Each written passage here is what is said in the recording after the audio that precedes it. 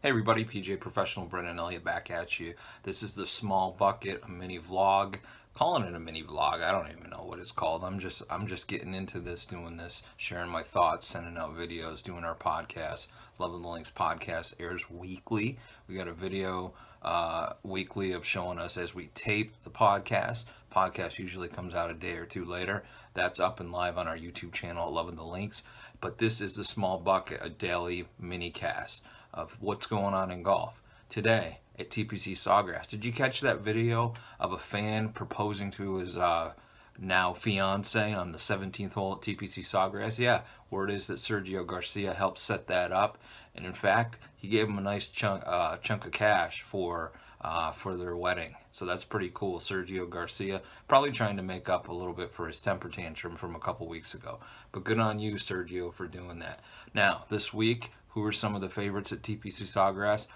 Best field in golf. There could be numerous folks, and I'm uh, excited about heading up there and probably on Saturday to catch the action. Weather looking for, for the weekend. Actually, up in Jacksonville, a little chilly for Florida standards, uh, mid 60s, and chances of rain off and on on Saturday and Sunday. So, how will that play into things? Again, the tournament has been moved back to March uh, from its original May date that it's been for the last, I don't know, five, six, seven, eight years. Um, so, this is going to be something a little bit different. Uh, the the golf course looks fabulous. Uh, they oversee with some heavy, heavy rye, so it's a it's a different animal this time. This go around, uh, the ball's not going to be really diving down deep like it did uh, in previous uh, Players Championships with uh, back in when it was held in May.